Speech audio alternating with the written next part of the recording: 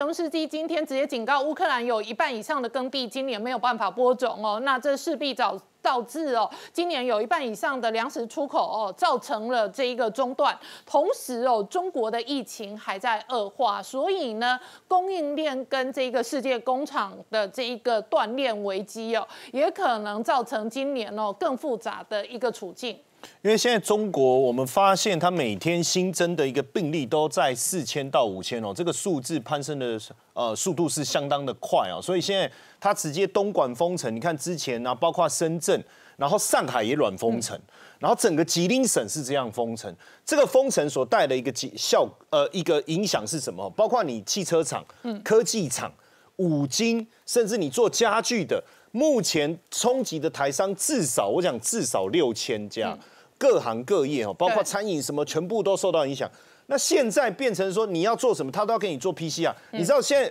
就很多台商说，我货我也没办法出啊，为什么？因为我司机有的他说我要做 PC 啊。有的直接就困在这个港口里面了，他完全也出不来，甚至他的听到一个台商说，本来没事的司机送一趟货出门就要回来隔离十四天，没错，然后十四天后他才能再出门送一趟货，那他没有一大堆司机在那边隔离，在那边轮流周转啊，所以等整个物流都受到很大的一个影响哦。那因为现在我们在看，至少有十四个省份受到影响，这十四个省份，如果我们把它加起来，等于占了。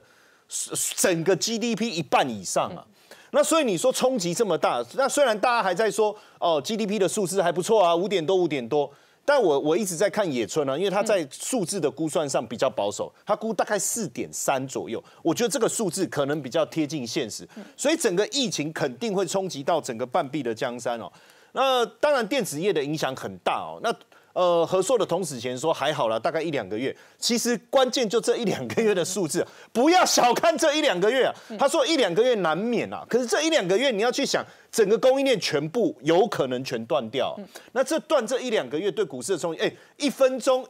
一秒钟，我不要讲一秒钟啊，一分钟我们可能都不能让它断，何况是一两个月哦。所以这冲击，我觉得确实影响是蛮大的。那现在呃，而且我们现在看到，当然是说哦，深圳啊什么这些。所以我打个岔，我现在猜测三月份电子业的营收出来数字，可能会有蛮多人是衰退的。对，然后而且你的工厂都停工了，你的营业额一定受到冲击。对，而且我还担心，包括四月份，哦好，哦，甚至还可能四月份的数字会更差。嗯，这个我觉得要特别小心哦。那再来，我呃现阶段，比如说影响持续发生，像唐山，现在也封了。那他还发现说，哇，唐山原来是钢铁重镇啊。那这一封，你钢铁也停了，物流也停了，这个影响其实我发现现在很多的基础建设你也动不了。嗯，所以为什么现在全球的钢铁？都在大涨，那从这个方向我们去观察，过去我们会认为说啊，电商这些应该影响不大，可是反而现在他开始裁员，因为他也知道整个经济未来的冲击很大。那你说过去这一年他们已经被打趴了，对不对？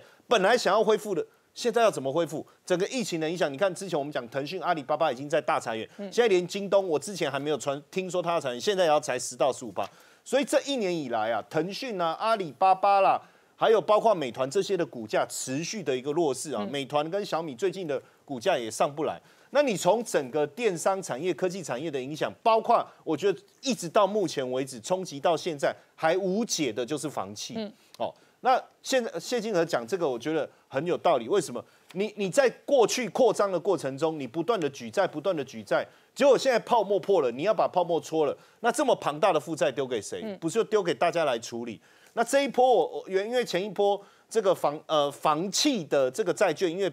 因为这个利率太好了，很多的外资投啊，你看像贝莱德哦 USB，我这样算了一下哦，光我们。画面上所看到这几家外资就投了十四亿美金呢，而且这几家像贝莱德在俄罗斯也有蛮大，也有蛮大的，到到处踩地雷了。它是中俄的受灾大户。对，那这个影响也会我会蛮大的哦。那现阶段，所以我们看到呃，基本上这一波房企的股价其实跌得非常凶哦，嗯，包括这个富力地产，这个跌了六十趴，融创中国是跌了八十趴，这一年来哦，花样年是跌了七几趴，到目前还没有反弹的迹象。那我我觉得最近我们在看一个数字，就是一二月整体房屋销售的一个状态。我看官方的数字好像还不错，嗯，但是华尔街有一篇报告，他直接讲，他说看起来数字是不错，可是后面有门道，他们去收集真正房屋销售的数字，跟分析师的资料，还有一些这个真正的报告以后，他们发现其实是衰，整个房价是大幅度下滑，就是说销售数字看起来不错，可是房价是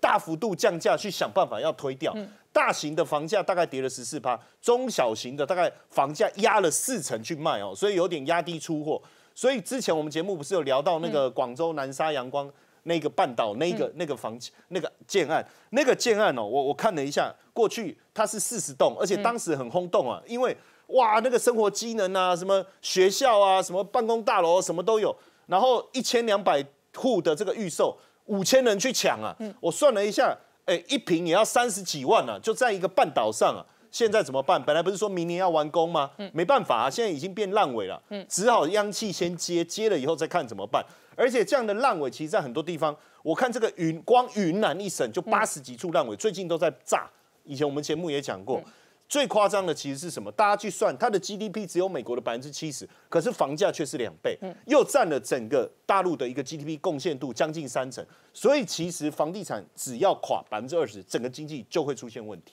好，我们稍后回来。